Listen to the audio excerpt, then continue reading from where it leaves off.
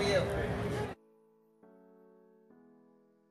I tried an Irish mule for the very first time when I traveled to Ireland recently at a Jameson distillery, and it was so good that I'm trying this recipe at home.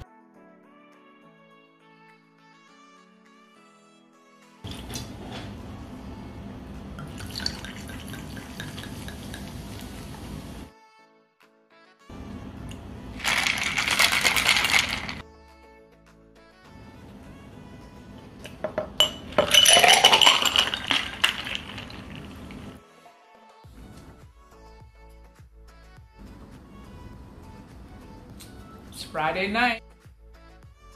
Cheers.